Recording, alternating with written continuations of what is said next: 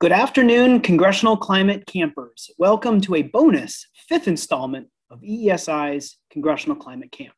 I'm Dan Bresette, Executive Director of the Environmental and Energy Study Institute. EESI was founded in 1984 on a bipartisan basis by members of Congress to provide science based information about environmental, energy, and climate change topics to policymakers. We've also developed a program to provide technical assistance to rural utilities interested in on-bill financing programs for their customers. As always, everything we do and produce, from briefings to fact sheets to podcasts, is freely available and accessible online. And also, as always, the best way to stay up to date and never miss a thing is to visit us online at www.eesi.org and sign up for our bi-weekly newsletter, Climate Change Solutions. Our original plan for Congressional Climate Camp was four sessions held on the last Friday of the first four months of the year. We started in January with process and specifically budget and appropriations. Then we delved into policy and examined the emissions profiles of major sectors of the US economy in February. March was a little bit of a history lesson about past climate policy development efforts, with some political science tossed in about the importance of bipartisanship and compromise to a healthy, functional Congress capable of delivering equitable, inclusive climate policies. And a few weeks ago, we concluded with an overview of four areas that we think are especially ripe for emissions reductions and adaptation benefits building energy codes, uh, mass timber, agriculture, and nature based solutions for coastal resilience. If you missed any of our previous series, uh, our full webcasts uh, are archived online again at www.eesi.org. and summary versions are available as episodes of our podcast, The Climate Conversation. For those congressional climate campers who have been with us for a few months now, you've heard us tease the session today. We knew almost from the start of the series that our original plan would need to evolve uh, and include a focused discussion on the budget reconciliation process. Nobody knows for sure how the climate policy debate will play out in the coming months, but it is a safe bet that the buzz about budget reconciliation as a vehicle for climate policy and infrastructure in particular will get louder and louder, sort of like what our new cicada friends are capable of doing. And so that brings us to today. A week, we are a week away from Memorial Day. The work period that starts after that long weekend and runs through July 4th will be pretty intense. Speaker Nancy Pelosi has already stated her intention for the House to vote on an infrastructure bill by then. So, our goal, with the help of our two experts who will join us in just a moment, is for this session to be informative and helpful, just in time to be an aid for staff who will be very, very busy very, very shortly. Thinking about today, I've tried to put myself in the shoes of that staff person on Capitol Hill. I work for a member of Congress who serves on one of the authorizing committees. We have a bill that fits broadly in the working definition of infrastructure espoused by leadership. And my boss wants to know how our priorities fit in the package coming together and what needs to change to make that possible. Of course, this has been on everybody's mind for some time, at least as far back as the passage of the American Rescue Plan, which was also passed using budget reconciliation. But a lot of unknowns will start to be known pretty soon, and momentum can build surprisingly quickly, and no one wants to be unprepared for that. As a reminder, our session today, including summary notes, will be posted online at www.eesi.org. And a condensed audio only version will be of each congressional climate camp, including today, will be available as an episode of our biweekly podcast, The Climate Conversation. We have a lot to cover, and you can participate in our discussion by asking questions. You can send us a message on Twitter at EESI Online. You can send us an email, eesi at eesi.org. Even if we get more questions than we can possibly answer, we will do our best and follow up to answer every question submitted during Congressional Climate Camp. So let's get down to it. Uh, each of our panelists today will make short presentations, and then we will kick off a discussion, a longer discussion than we've normally been doing during Congressional Climate Camp. And now I get to welcome our first panelist. Molly Reynolds is a senior fellow in governance studies at Brookings. She studies Congress with an emphasis on how congressional rules and procedure affect domestic policy outcomes. She is the author of the book Exceptions to the Rule The Politics of Filibuster Limitations in the United States Senate, which explores the creation, use, and consequences of the budget reconciliation process and other procedures that prevent filibusters in the US Senate. Molly's current research projects include work on oversight in the House of Representatives, congressional reform, and the congressional budget process. She also supervises the maintenance of vital statistics on Congress, Brookings' long running resource on the first branch of government. Molly, welcome to the session today. I can't wait for your presentation.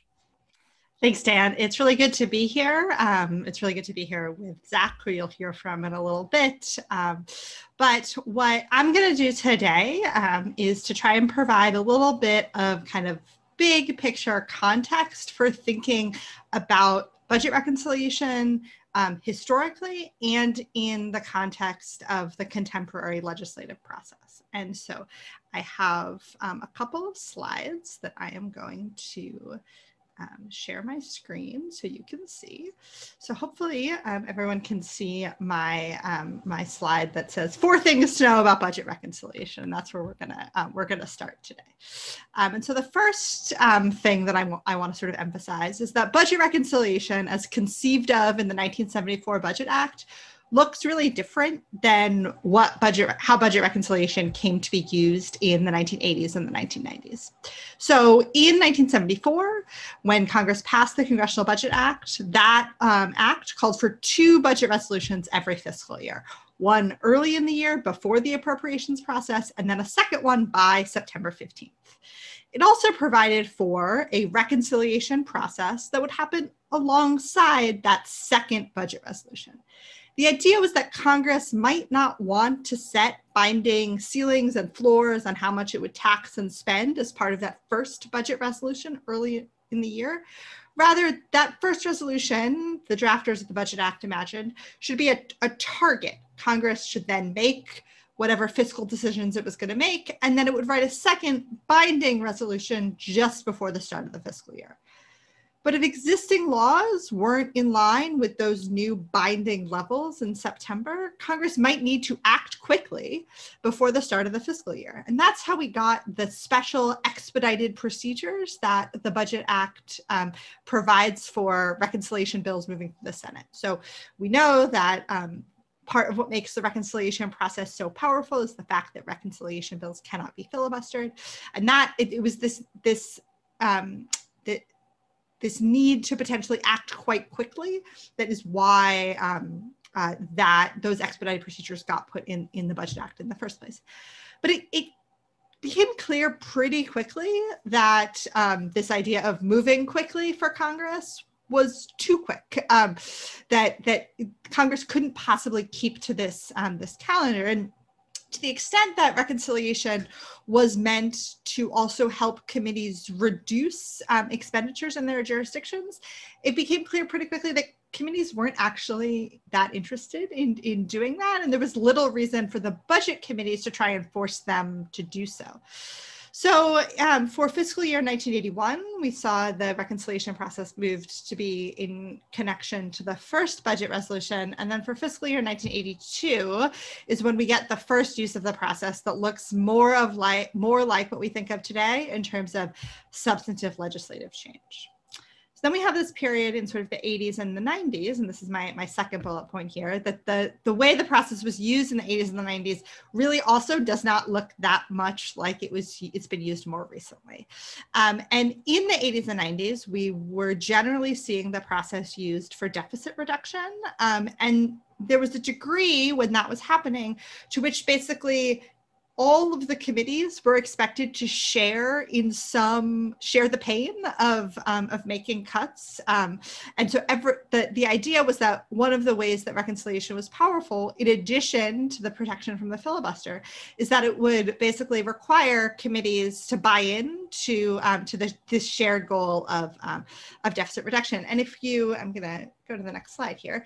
If you look here, these are some tables um, from the Congressional Research Service that run from um, 1989 uh, through 2015. And you can see that in sort of the, the earlier period here, the, the, the 80s, the 90s, that um, large numbers of committees were tended to be named in the in the reconciliation instructions. So the way the process was being used was again this idea that we were going to sort of the Congress was going to had this goal they were going to try and um, uh, achieve deficit reduction, but they were going to they were going to get um, lots of lots of committees to um, to to share the the pain um, in um, in doing so. Um, I don't, I, I want to emphasize that even in this sort of model of using the reconciliation process, we have evidence. Um, Dan mentioned um, my book, and this is one of the things I look at in the book, but there's evidence that congressional majorities were using the process um, to try and advance goals that were important to them as a majority party, even in this model of the reconciliation process. But again, it looks, um, it looks different than the way the process was used, say, to help pass the Affordable Care Act, to um, uh, to achieve the the um, the Trump tax cuts, that sort of thing. It also means because we had this model where lots of committees were making, uh, were um, involved in the process, that sometimes we got large bipartisan majorities for reconciliation bills. So I think today we think of reconciliation as this, this way to do things on a, on a partisan basis, but this is a table that um, just tracks the final Senate vote margins on reconciliation bills from 1980 through 2017. And if you look sort of again in that, um, in that 80s and 90s period, you see that, that some of these things did get um, did get um, large bipartisan um, majorities. Where we ended up um, in kind of the, the 2000s and the 2010s is moving to this model where reconciliation became more of kind of a one neat trick um, for uh, achieving uh, party defining priorities. So again, for helping to pass the Affordable Care Act, um, Republicans failed attempt to repeal the Affordable Care Act, passing um, the Trump the Trump tax cuts, and then today, um, I would say we're we're this year we've kind of find ourselves back in the middle a little bit. We know from having looked at the American Rescue Plan um, that that is another that was another instance where Congress kind of went back to this 80s and 90s model of enlisting lots of committees to um, to do things. Uh, as part of the process, but we're also um, the process is seen as this way to um, to accomplish things that, in this case, Democrats really want to get done, and that the filibuster might um, be preventing them from um, from doing. So. Um, the third point that I want to make is that because the process has become more important for congressional majorities to try and achieve their major policy goals, we've kind of stretched the boundaries of, of, of the process and we've ended up with in many cases, less certainty about what is and is not allowed um, uh, to be done through the reconciliation process. Um, Zach is going to talk, I think, a little bit more about this. Um, and I'd encourage you, I think some of the resources that we shared for this um, session uh, include discussion of kind of what topics have been covered by reconciliation bills in the past. They are wide ranging.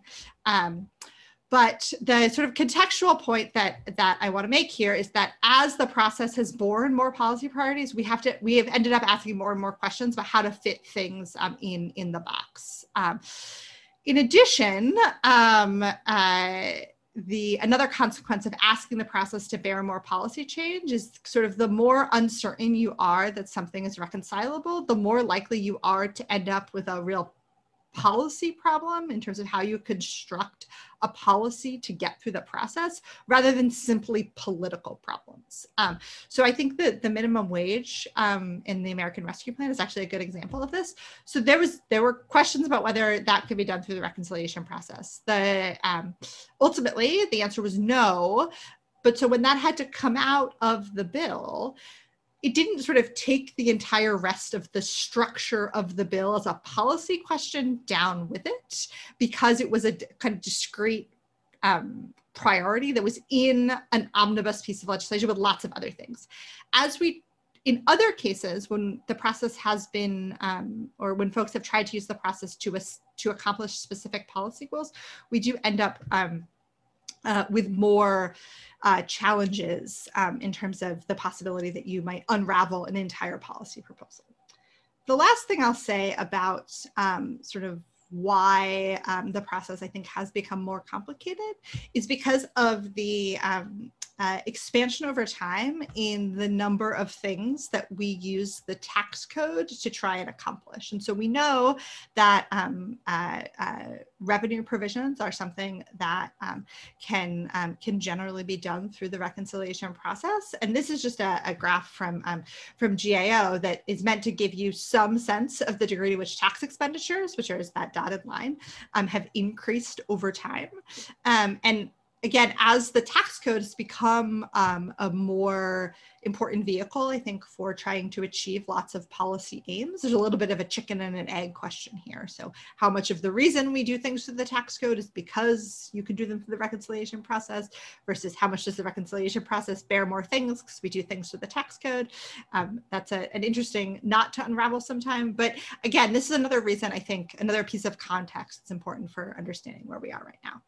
And then the last thing I'll say before I um, turn it over to um, to uh, back to Dan, who will introduce Zach, is that it's also really important to remember that the rules um, are a big constraint here, but they're not the only constraint. Um, one um, important um, thing to remember is that um, there are other um, there are other features of the process that don't have to do with things like the Byrd rule that um, that can limit how it's used. I think perhaps the most important one of these is time. Um, going through the reconciliation process, both in terms of writing a bill and then taking it through all of the hoops that are um, related to moving it on the floor is a really time consuming process. Um, and if you are a majority that has other things you also want to use floor time for, you have to kind of make some choices about how to allocate that. Um, it's also the case that um, I think one of the things that um, Zach might talk a little bit about is the sort of discretionary mandatory um, spending piece here. How do you make discretionary spending look mandatory? Um, and there's some interesting lessons from the american rescue plan on that front. But it's also worth remembering um, that uh, there are elements of the, the reconciliation process that can ask committees to give up some power that they have.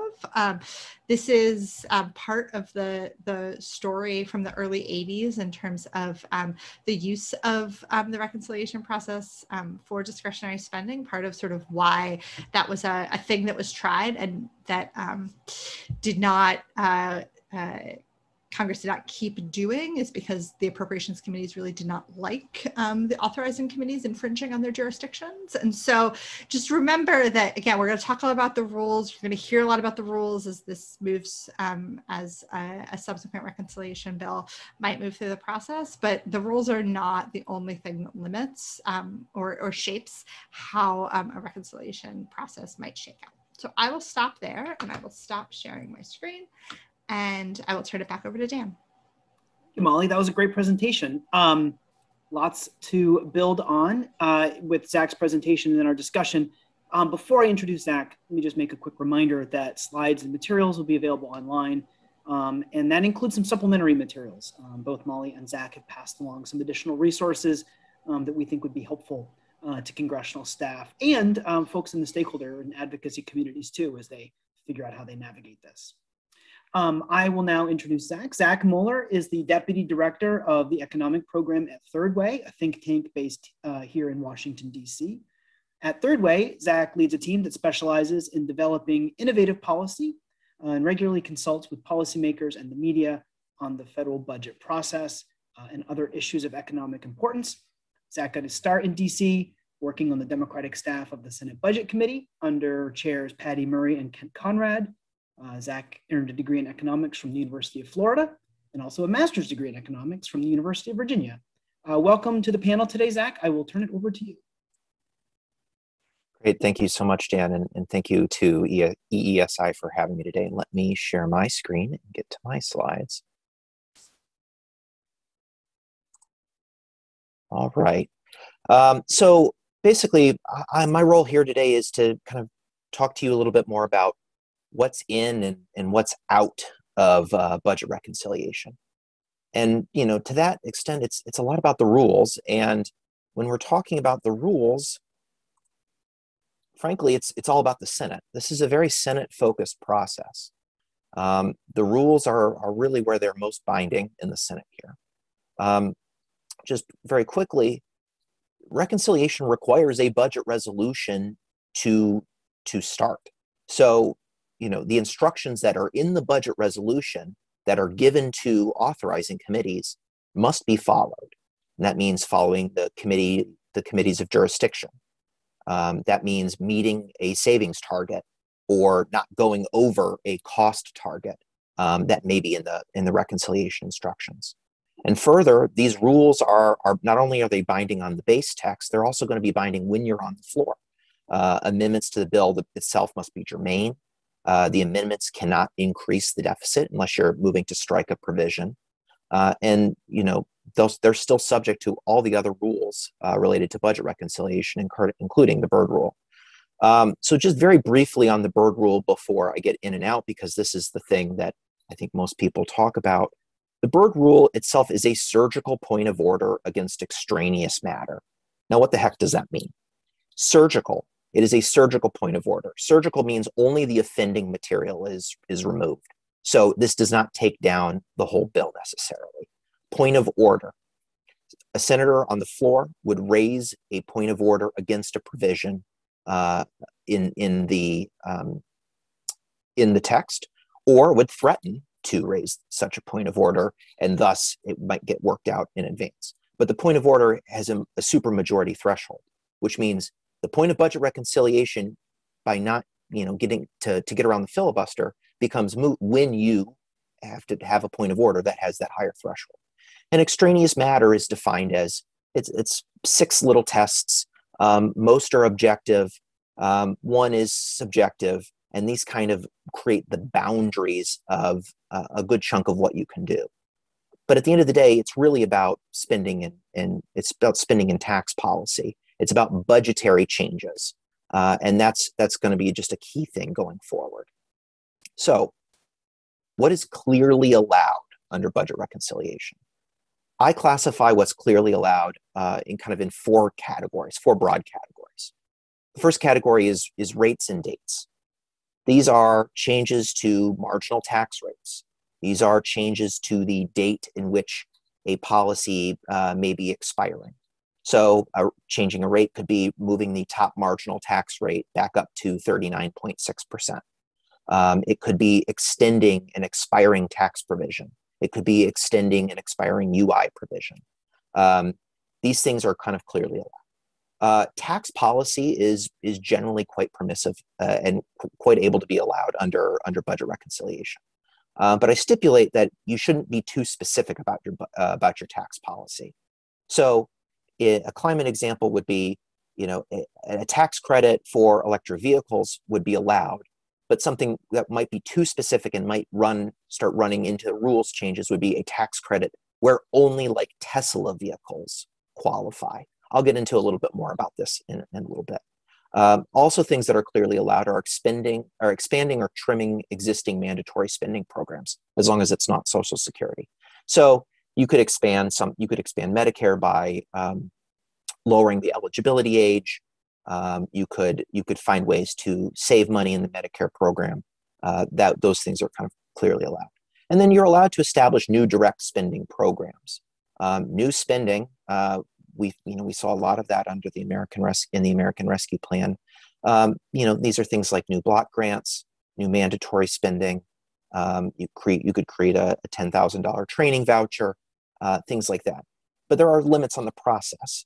Um, you know we'll get into this more and i think probably in the q&a but uh, you know a lot of people want to put a lot of policy in a spending program you can do this you can't use the money for a b and c but the more and more limits that you put on spending the more and more policy that you're putting into it you create a, a situation where things may start to you may start running into parliamentary problems so let's talk about the things that are clearly not allowed.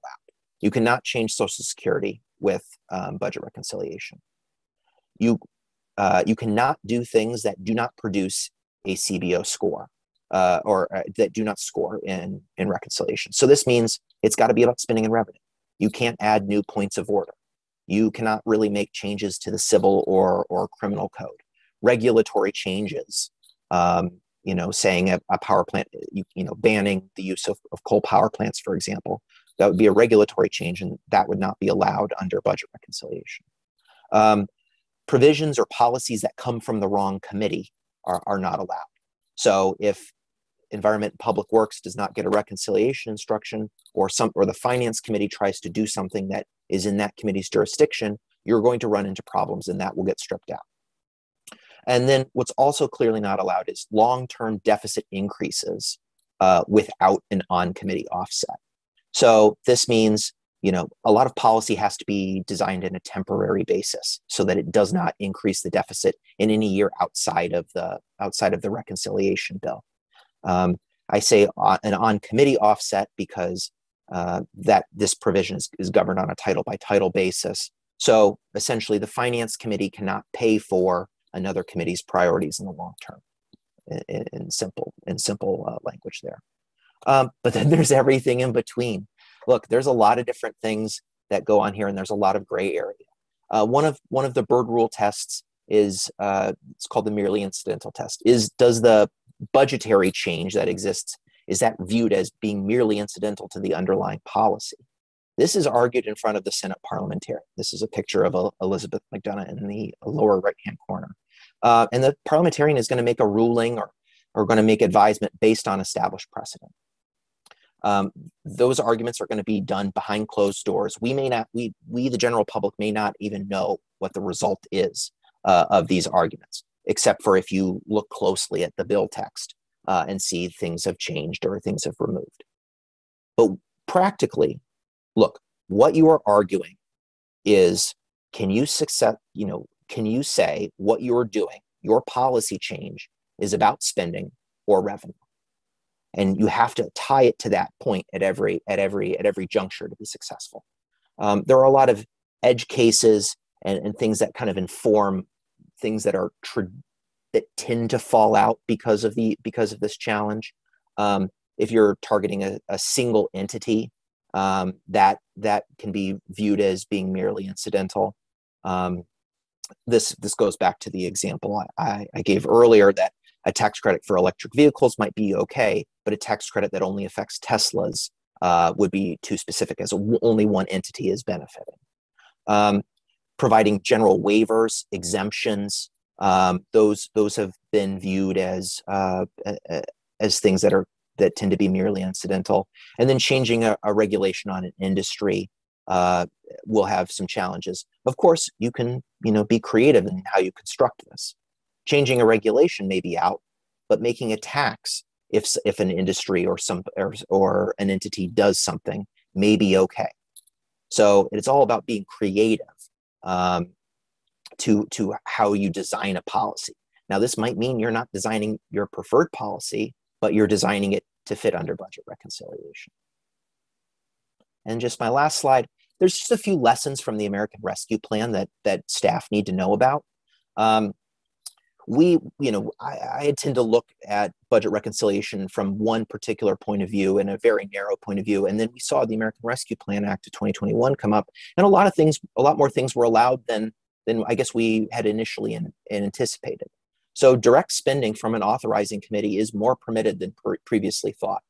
A lot of the American Rescue Plan Act had a lot of direct spending, which means that you know for climate policy, for infrastructure policy, a lot could be allowed as long as the authorizing committee is the one that's spending the money. Uh, it's typically easier to fill up an existing pot of money that you know exists in law that has restrictions on it than um, creating a new pot of money, a new program with restrictions.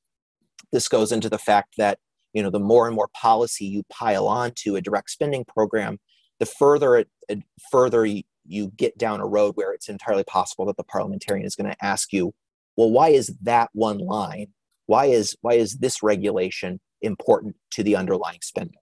So you just have it's easier to fill up a, a pot of money that's existing than create new restrict a new pot of money with restrictions. Um, the american rescue plan had particular challenges with single target uh, single target provisions uh, which is very relevant for infrastructure which means i think it will be very difficult to get things that look like earmarks uh, in in infrastructure. Fix this road, fix this bridge. Those are going to have huge challenges uh, going forward. And then the last lesson um, that I would give to staff from the American Rescue Plan is making sure that your the provisions, the bill text you're working on has pretty clean jurisdictional boundaries. Um, in the Senate, bills out in the normal process tend to get referred to by a preponderance of, of jurisdiction. So if you're doing something on tax policy, finance gets it. But you know, it may be the case that, well, okay, there's probably a little bit of policy you know if it's if it's on the environment and maybe there's maybe a little bit of policy that would that would normally live under epw's uh, jurisdiction well when you're designing the policy here and because it's going through committee markups the the policy uh, that overlaps multiple committees needs to live within their needs to live within the title of where the where the policy is actually um, meant to be.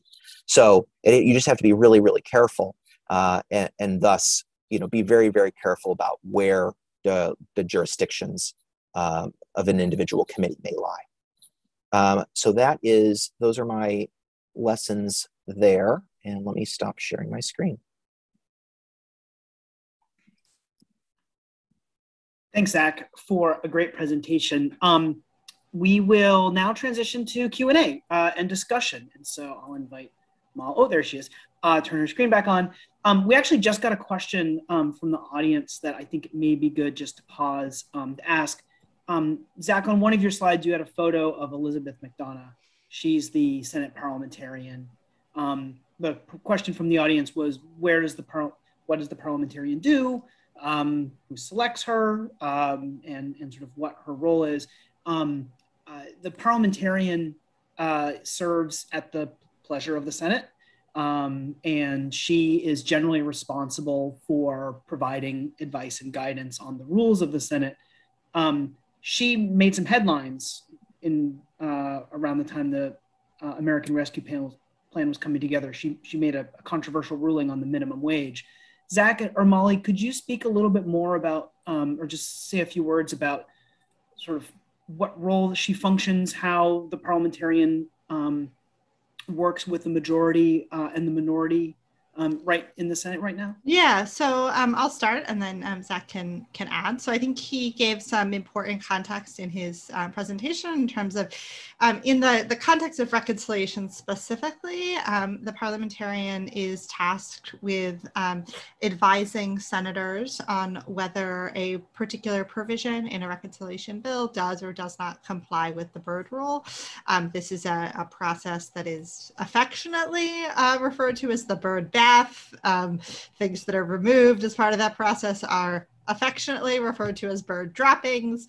I like puns. Turns out the Senate does too, um, and so that's that's uh, sort of a key responsibility that she has um, in this context. One thing I think is important to, um, since you mentioned Dan, that um, the parliamentarian made some headlines um, in in earlier in the year. Um, the parliament, like I think we might talk about the parliament the parliamentarian the most when we're talking about reconciliation, but she has other functions in the context of the Senate. And the fact that she has other functions, including things like advising on which um, uh, committees bills should be referred to and on uh, questions of committee jurisdiction. There's value in having um, an entity that is seen as an honest broker by everyone in the legislative process um, that, again, extends beyond simply her role in the reconciliation process. So, as kind of an institution within the institution, I think that's important to remember that if she, like, we might talk about her the most in this context, but she has other jobs um, and that it's it's um, that everyone in the Senate um, uh, benefits from having someone who everyone sees as a neutral arbiter of a number of different issues. And I would just add, I, I think the media fascination with the Senate parliamentarian, in my opinion, is probably net negative because at the end of the day, it's political actors that are making a decision and they want to blame you know it's it's kind of like blaming the ref in sports or blaming the umpire specifically in baseball for someone that they're just doing their best job to call the to call the balls and the strikes as they see them. Um, you know this person has immense institutional knowledge and and is a consummate professional. This isn't a person that is necessarily a political actor in their own right. So i think that's just an important thing to recognize thanks for that. Um, and thanks for the question from the audience. Um, okay, so um, now we get to have the discussion. And, um, you know, we're, we're talking about this at a point, like I said in my introduction, um, the Congress is going to debate infrastructure. Um, and it seems like that's going to start happening pretty quickly. And you know, Zach, you your presentation in particular sort of laid out sort of what's allowed, what's not allowed, and what's in the middle Um, for someone who's thinking about how to approach reconciliation with the goal of getting their boss's priorities included in the mix, if they have something to start with that's written like a regular bill, what are some of the differences between a normal bill, an authorizing bill, and what that has to look like to be a to be successful in a rec- reconciliation process? What are the, the types of things that might have to change? Is it just how it affects revenue, how it affects spending, or are there other sort of like, are there other sort of construction uh, elements that make an authorizing uh, make authorizing text different from reconciliation text? So let me let me just start here and say there are a lot of different things that make an authorizing bill an authorizing bill. But I, I think what's what's key here is if your bill was already a tax policy bill and it was purely a tax policy bill, you're already starting from a position where you're you're more likely to be able to make an argument that this can get into budget reconciliation. Assuming that when you put this into the the comprehensive package that the committee is putting together, you don't you know make it be too expensive or or, or anything like that but if you're starting from something that's more re- regulatory or or you know those sorts of things um, are authorizing a new program you need to make sure that you know it's not something that needs appropriations in the traditional appropriations process to come and backfill uh, and and and provide your money um, you need to make sure that there's direct spending provisions, direct spending language uh, within your within your bill to be fully reconciliation ready. Um, I would suggest staffers who want to do that make sure that they look at um, the American Rescue Plan and the lang- the legislative language that was used in that for a good chunk of the um, the direct spending that was there, and then just realize you've written a bill and you've probably written a bill that you think is really great and you've done a lot of stuff in good faith to make sure that ah okay i've i, I realize that it's going to touch you know four different four different old pieces of legislation i've dot you know i've crossed my t's i've dotted my i's you have to recognize that you may start needing to make compromises and things that you want and you view as oh this was really important this this regulatory provision which prevents some gaming uh, companies gaming the situation down the road. Well, you may run into situations where the parliamentarian is going to say, well, are, is this necessary? Do you need this in there? Or you may be dealing with leadership or the committee, and the committee may go, well, we just we just don't want to run that risk. So, or, or it may conflict with other things. You recognize that you just it may not be the exact same bill at the end of the day.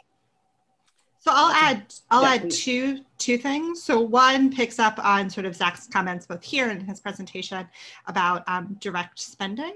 Um, and again, I will just emphasize that like while one of the lessons from the American Rescue Plan is that we sort of saw more um, direct spending um, move to that bill than we, we might have otherwise thought, that um, there may also be a limit on how much the appropriations committees are comfortable with authorizing committees continuing to sort of take things that would have otherwise been uh, programs that would be sub like subject to annual appropriations and convert them into direct spending that is reconcilable. So I don't think we have a as a, it's sort of a like institutional political question, I'm not sure we have a, a, great sense of that. The other thing I remind folks of is the implications of um, the 10 year window um, uh, for reconciliation bills. So um, provisions that um, uh, increase spending or um, cut taxes um, are, uh, unless they're fully paid for beyond the reconciliation window, that's also a potential Byrd rule violation. And so you might find yourself um, having to sort of do something over a different time horizon than you would otherwise. Uh, this is um, the, the uh, Bush um, tax cuts, the parts of the Trump tax cuts, the reason they sunset is because um, of the the 10 year window um, issue. Um, so that that's just another um, another thing to um, to keep in mind. Great thanks. Um, so we've we've talked a lot about American Rescue Plan and we're talking about sort of this in an infrastructure context. How many times can Congress actually use reconciliation? Is it something that's bound to a fiscal year? Is it bound to the lifespan of a budget resolution? Is it a calendar year? Is it a Congress? Molly, how, how frequently could Congress go back to this well if it chooses? And Zach, I'll definitely give you an opportunity to comment as well. So there, there are two pieces to this, um, to answering this question, I think. There's a sort of what do the rules permit? And then there's a what does the calendar as an actual thing that binds people um, uh, permit. And on the on the what do the rules permit, um, under guidance from the parliamentarian that dates, I believe, to the early 2000s, um, the notion was that each time Congress did a budget resolution, that budget resolution could um, be followed by up to three reconciliation bills one related to spending, one related to revenue, and one related to the debt limit. But if you wrote a reconciliation bill that touched any one of those three areas, that sort of counted as your bite at the apple. And it's in practice pretty difficult. Um, if you want to sort of do anything, uh, it, it can be quite difficult to do anything more than a, a, straight like tax cut bill that doesn't touch revenue and spending. Um, so we've seen relatively few years with actually more than one um, reconciliation bill attached to the same budget resolution. What happened um, uh, a month or so ago um, is that the Senate Democrats sought an opinion from the parliamentarian on whether they could do a revision to the budget resolution for fiscal year 2021, which is the one that they adopted early this calendar year to create the reconciliation instructions for the American Rescue Plan? Could they go back and revise that budget resolution? And would that um, uh, uh, permit them to do another reconciliation bill under the umbrella of the fiscal 2021 budget resolution? The Senate parliamentarian said yes, though I am I remain a little unsure exactly what the contours of um, her what her yes um, uh, means. So uh, this brings me to sort of my second point before I turn over to Zach, which is that like the the rules may say something about the number of times um, uh, uh, Congress could try to bite at this apple, um, but equally as important is the amount of time um, it takes to do a reconciliation bill and the sort of strategic questions about what do you want to try and put in one versus split into two and if you split it into if you split something into more than one and it takes you longer than you think to do the first one do you ever really come back to the second one? And there's lots of um, so those are those are questions that have to do with priorities and um, log rolling across issues and just the the um, degree to which floor time, especially in the Senate, and frankly, um, in this moment of lots of priorities for a new narrow majority, uh, that that's also, um, I think, as binding a constraint on what we're talking about as the rules. Yeah, I, I, I agree with everything Molly uh, said, especially this last point about political floor time. Um, everyone needs to realize that to do budget reconciliation, you deal with the Senate vote-a-rama process twice. For those of you that don't know or haven't lived it, uh, Senate vote-a-rama. Lucky for you if you've never lived through a Senate Lucky for you. Um, Senate vote-a-rama is a situation because because there are time constraints built onto the budget resolution and, and budget reconciliation um, that's what kind of gets around the filibuster. At the end of the time, it's over. But at the end of the time, it's over means all the pending amendments, and there are hundreds, uh, are, are up for a vote, and you could just vote continuously. And so at that juncture, the entire Senate floor is kind of governed by unanimous consent. And it's it's a unanimous consent agreement for when when do all 100 senators get so tired of voting that they are they're calling it quits and that's an it's a really tough process. It's a tough process on staff. It's a tough process on the members and it eats up a lot of time. And so and, and folks take a lot of difficult political votes which is another another constraint there. So that's part of why i thought at the beginning of so after democrats won the georgia runoffs and it became a 50-50 senate and democrats held the house the senate and the white house as a result i thought three reconciliation three attempts at reconciliation using the FY21 budget resolution, the FY22 budget resolution, and the FY23 budget resolution would, would have been possible before the next election, before the November 2022 election. Um, whether or not the parliamentarian rules that you can revise 21 revise the 21 resolution um, i still think three is probably the most that it, that this can bear over two years um, but that's just my personal speculation not a this is technically what they could do. It's really interesting. Um, yeah Votorama goes all night. Um, it's uh it's a it's a crazy environment. Um, yeah and it's i'll just say that like it again to like go back to my opening comments that try to put this reconciliation moment in broader political context. In a senate where there are far fewer opportunities for senators to get votes on amendments that they want generally the votorama becomes like an even more painful process because people look around and say i have this amendment that i want to offer um, and i don't think there's any other time i'm going to get to do it so i'm going to take the one chance that i have. But all your 99 colleagues are also thinking the same thing and that's part of what makes it as painful as it is and i think it's gotten worse over time. Yeah I think it's almost like it's almost like um, you know a kid eating all of their candy on Halloween night. It's you mean you've been like I've been waiting for this. I've been waiting for this candy, and then all at once, great! I have all these different options, and you eat yourself sick. Is there another way to eat Halloween candy? I'm not aware. Um, I guess um, not everyone just portions it out for a little bit at a time. Yeah. I'm gonna remember that this year when Colin brings all his Halloween candy home. I'll be like, no voterama tonight. Voterama. We'll have to parcel it out.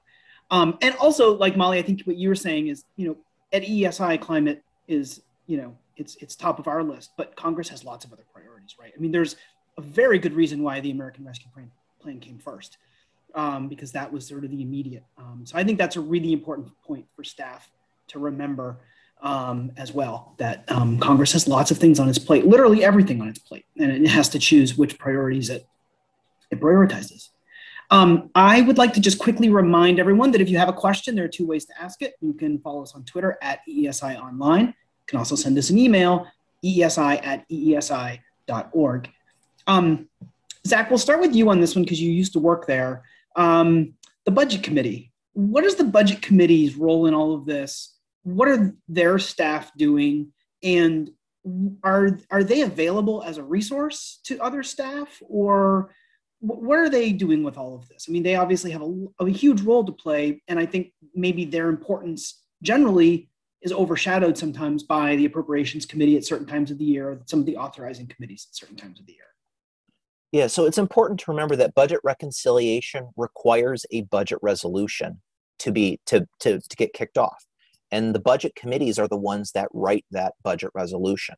That budget resolution contains the instructions that give the authorizing committees the ability to do that. So the political pressure on the committee to, to write a budget resolution that can meet what the majority wants uh, dictates a lot of, of what can happen.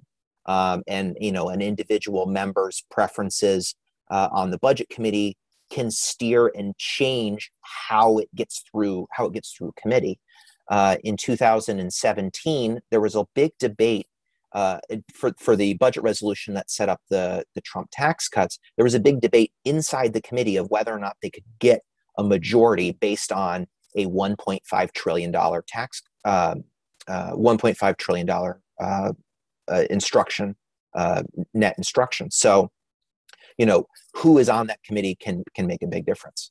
From a staff point of view, um, you know the the budget committee contains a lot of the process experts on this. They contain the experts on where all the numbers need to be and where they may add up at the end of the day. Um, so if you are a staffer you know it's good to be in touch with your corresponding budget committee expert whoever runs you know if this if you're if you're the environment staffer it's important to be in touch with who is of your party in running the environment portfolio over at your committee um, because they can they're the ones that are going to be knowing best about what's what's going on. Uh, and keeping those lines of communication open is something that i always recommend to congressional staff the only thing that I will add is um, this question was about the budget committee specifically, and Zach has done a great job of sort of um, answering that. But the part where he was talking about um, the needing to get a budget resolution out of the budget committee, um, also, uh, because the majorities are so narrow in the House and the Senate, like that's also going to be a constraint on what that resolution might look like, especially if we're talking about a resolution that is also. Um, uh, also is meant to actually set some top lines uh, because I think that in there are um, uh, there's the potential for um, disagreement uh, within the Democratic caucus from different wings of the, the party about what um, sort of what things like the overall size of the defense budget should be. Um, and that there's a potential, again, because we have fewer and fewer things that move through the legislative process, they all bear more of the political conflict. So the idea that like there are things beyond just how does the budget resolution set up reconciliation that could get caught up in that debate, I think is also an important thing to remember. Yeah, just one thing on this and this because this is really important. The prior budget resolution that was used for the American Rescue Plan was the FY21 budget resolution. We were already halfway through, roughly halfway through fiscal year 2021 when that was utilized. If, if Democrats are going to use the fiscal year 2022 budget resolution, that would be the first budget resolution after the expiration of the discretionary spending caps, which means it's a budget, it's a live budget resolution for determining the start of the appropriations process, which means it's just that more important. And we, um, we our, our first congressional climate camp budget and appropriations and stimulus. Um, we had a CRS analyst uh, and a friend at the Bipartisan Policy Center come and talk to us about sort of the regular budget process, um, appropriations, and sort of the role that the budget resolution plays and all of that. So if it, and there was a lot of discussion on spending caps actually during that. So um, if anyone in the audience was just intrigued by where Zach was going with that, we actually have a whole congressional climate camp. And you, and you should be. It's really important. it is really important. Um, and uh, so anyway, I would definitely encourage anyone to go back and read the at least read the notes. But um, uh, Kari and uh, Franz did a great uh, job um, presenting on those topics too back then. Um, I'd like to um, sort of, we're getting close to our three o'clock stop time. And so um, I'd like to sort of ask a couple last questions. Um, this one is more about, you know, you, you all have, the two of you have done a, a wonderful job explaining this um, and, and helping us understand sort of what this looks like and what the dynamics are. Are there quirks there are lots of quirks with the project uh, process.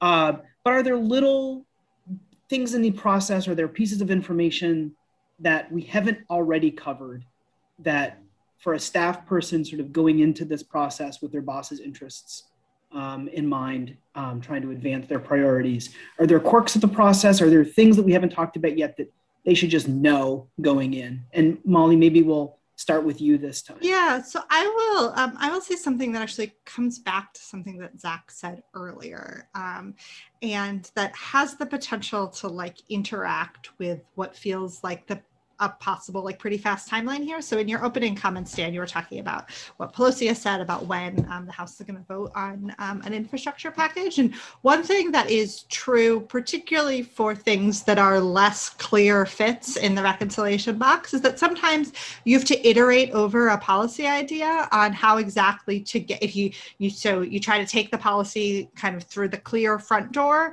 that turns out to not fit in the reconciliation box. So you have to find a side door or maybe even a second side door or the back door.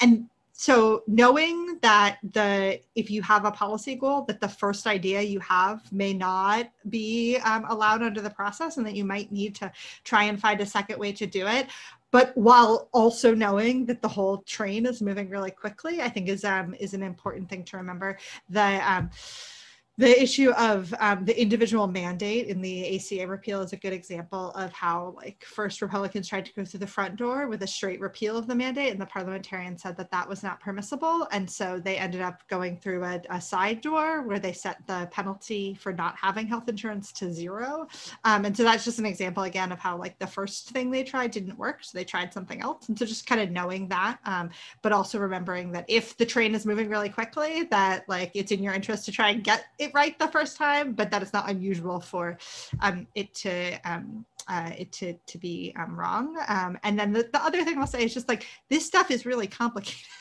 um, I have um, one of the one of my favorite um, things to to show people in the context of talking about reconciliation is I have some documents that are from like the development of reconciliation bills um, in the in the 90s that are now at the National Archives. And one of them is a document prepared by the House Budget Committee where they were trying to speculate about what are possible what were going to be possible violations of the Byrd Rule when the bill went over to the Senate. And there are several of them that just have these boxes with like there's a provision next to the box. There's just like a series of question marks, like I don't know. Um, but again, these are people who do the who are who are experts and who do this this for um, as as their job. And so just knowing that it's it's hard and it's complicated, um, I think is also an important reminder. And then you know I'll just flag that you know staff need to realize that given the fact that this is a it's a essentially a democratic only exercise. Um, it's going to be a lot of what is in and what is out is governed in a political process held by leadership and held by the White House. And so, as best as you're trying to represent your boss's interests, you have to recognize that you have to do that. You have to do that step to make sure that your leadership staff understand that your boss cares about this, and you you have to do that kind of political legwork within the caucus to make sure that you understand, you know, to make sure that leadership knows uh, it's supported by not just New Dems, but New Dems and progressives. And so that you can build that coalition to say, this should be in the bill. That being said, the more and more expensive your provision is, because everything will kind of be locked in at the beginning in the budget in the um, budget resolutions instructions the more expensive your provision is the tougher it is going to be to make that case and you know what are you trading off? What are you taking out to put your provision in? Um, and that will be on a committee by committee basis that that decision will be made. So talking with your your authorizing committees committee professional staff will be really important uh, as well. Yeah that's I, um, we talked about vote-a-rama now it's time for cliche a palooza. The you know staff really need to understand that it's not just the ends it's also the means right and that you know there's multiple ways to skin a cat. Um, and also that you can't let the perfect be the enemy of the good. Um, and there are you know it's um in some ways it feels a little bit like the it's a, a problem in search of a solution. So those are all of the cliches but those are my sort of extrapolations of some of your um, bits of advice from that. Um, we are just about out of time but i would love to give each of you an opportunity to um, plug your work uh, share some additional resources that you or your colleagues at Brookings or Third Way um, might have on the topic. Um, and Zach, maybe we'll start with you. Um, other resources that you've either authored or that you think fondly of that you would like staff to be able to, to use as a resource? Great. So I, I wrote a paper recently uh, this January about the role of the parliamentarian in this process and how we can use budget reconciliation to help the American work, American workers recover. Um, that should be posted uh, as a as a resource available online.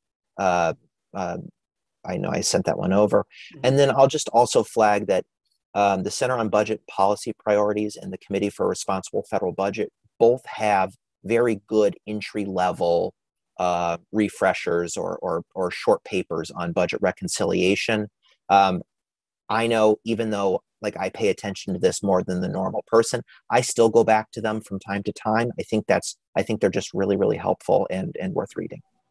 Um, I would second everything um, Zach said. Um, I would say if you are um, if you're interested in getting like a deep dive into the history of reconciliation, um, there is um, there is some of that in my book, but you really don't need to read that. and the other thing I will say is that my other invaluable resource um, every time I need to is anything produced by the Congressional Research Service on reconciliation. Um, I have an entire file on my computer of CRS reports related to different parts of the process.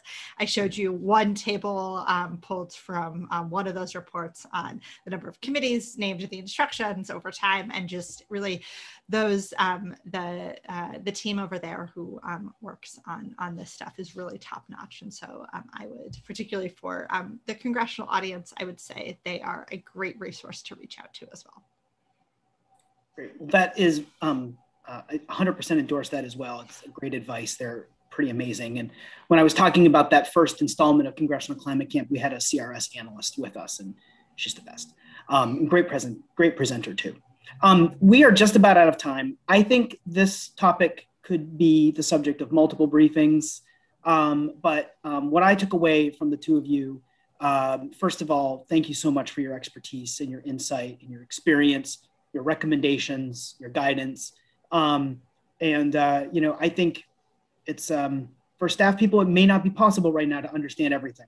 Um, but I think the two of you did a wonderful job helping to orient them, hopefully for navigating the process successfully. Um, and uh, so I thank you so much for making time today for us um, and our audience. Thank you so much, uh, Molly and Zach. Um, I would like to just take a quick moment uh, to share uh, a preview of what we are planning on in June. Um, we are going to take a little bit of a break around Memorial Day, but um, much like Congress, we're going to come back um, in June in a big way. Uh, we are going to be looking at the energy system. We are going to be looking at proposals around a national climate bank. Um, we have a really busy slate that we aren't quite ready to notice yet, um, but keep your eyes uh, peeled because they will be coming out shortly. And if you really don't want to miss it uh, and you want to RSVP as quickly as possible, the best way to do that, as always, is to visit us online at www.eesi.org and to sign up for our biweekly newsletter, Climate Change Solutions. Um, we have a lot of great stuff coming up, and I would hate for you to miss it. I will ask my colleague Dan O'Brien to put our slide up with our survey link. Um, if you have uh, the ability and, and, two minutes to take our survey, we would really, really appreciate your feedback. We are always doing our best to improve our congressional pro education programming. Um, I'm not sure how we could possibly have improved today's session uh, with Molly and Zach, um, but whether you had maybe you had a tech issue, maybe my audio wasn't coming in, um, we really do read every comment that you submit. And so if you do have a moment, um, we would really appreciate your feedback. Um, and uh, it means a lot when you take time to do that. And um, just lastly, I would like to thank everyone at EESI who helped uh, make today possible. I mentioned Dan O'Brien, big thanks to him. Thanks to Omri, Anna, Amber, Savannah, Sydney, uh, and our interns, uh, Jackson and Ashlyn, for uh, helping with today as well. They're um, two of our summer interns, and, and they're already making a big impact on our on-bill financing work and our development work. So thanks to them. Um, we will go ahead and end it there. Uh, Molly and Zach, once again, thank you so much. Um, thank you for our audience for joining us today.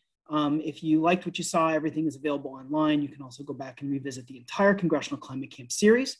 And I hope everyone has a great end of May and a nice Memorial Day weekend. And we will see you all back here in June uh, and stay tuned. We'll be getting those briefing notices out as soon as we can. Thanks so much. Take care.